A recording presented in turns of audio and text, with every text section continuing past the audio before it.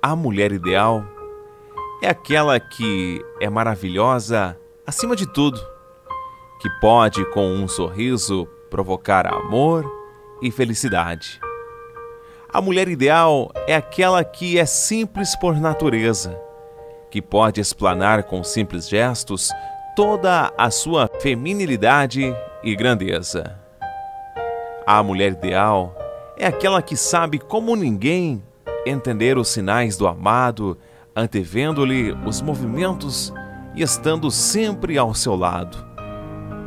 A mulher ideal é aquela que não seja perfeita, pois somente Deus o é, mas que busque a perfeição em todos os seus gestos. A mulher ideal é aquela que mostra a sua beleza todos os dias, como foi no primeiro encontro fazendo dos momentos com o seu amado um eterno reencontro.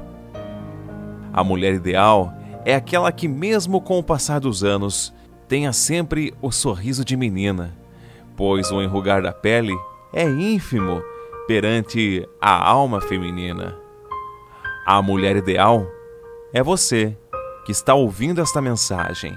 Que em todos os dias do ano seja um 8 de março um Dia Internacional da Mulher.